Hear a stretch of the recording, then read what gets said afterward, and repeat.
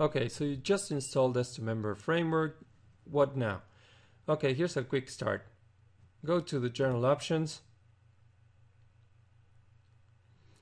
Here, security encryption key. Click auto generate. That's good for security. Uh, now, if you're going to allow free registrations, you have to enable them here. Otherwise, only paying members will be able to register. Um, and then we need a, a membership options page which will uh, let the restrictions work. And I'll explain a little bit more in a second. Uh, I already have a page created for that, so I chose it from the list of pages that exist in this installation, and then click Save All Changes. Okay. So we now have to protect a page for the example. So we go to Pages, and we'll do it with the test page and I will require a level 0 or higher in order to open this page. Now level 0 is the one that free users get. So this means that people that are not logged in will not be allowed to open that page, only logged in users. So we click update and let's try to view it from a window where I'm not logged in. See, S2Member didn't let me open the test page. It sent me to the membership options page, which is the page that I chose for that setting.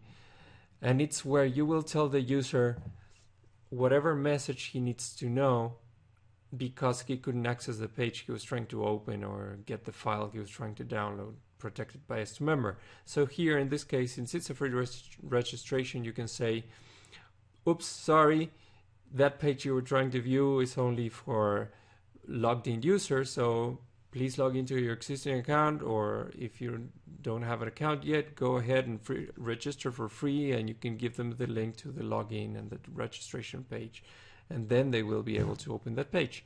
So that's a very, very, very basic use of this plugin. Of course, you can protect this at level one, and then you will have to. They will have to purchase the access because that's not a free level.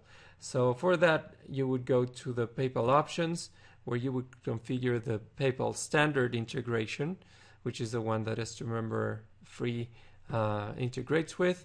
And you would configure the settings in this panel, the ones in this panel, and the ones in this panel, and then save all changes. And then you can create a button to sell that access. I, I have this warning now because I didn't enter any settings for the PayPal options, but you wouldn't get this if you complete the configuration. So I'm going to sell the level 1 access.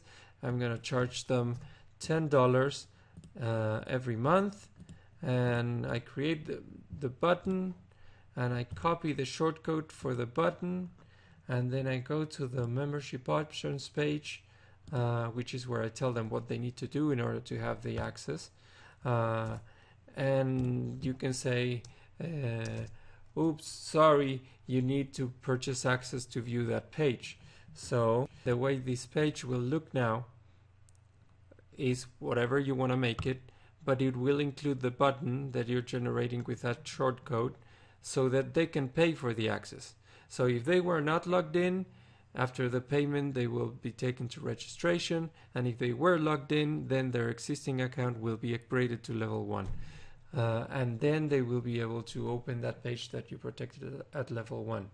That's a very basic uh, use. It's enough to get you started using this plugin. It has a lot of settings, but don't get overwhelmed. Take them one at a time. There are many other videos explaining how it works, and there's the forums, and there's the knowledge base. Uh, you'll figure it out. Plus, it has a lot of documentation and a nice community. Uh, just take it one step at a time. Now that you have a, a quick start, play with those settings, uh, get familiar with those, uh, and then you start exploring new things. And I hope that makes things easier for you.